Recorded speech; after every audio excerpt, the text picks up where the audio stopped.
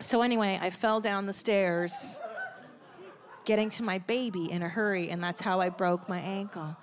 And see, that's a mother's love. That's a fucking mother's love.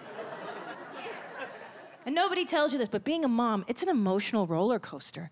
Like, I go from joy to rage to exhaustion to exhilaration every six seconds, every day. and just when I'm ready to throw that baby in the river,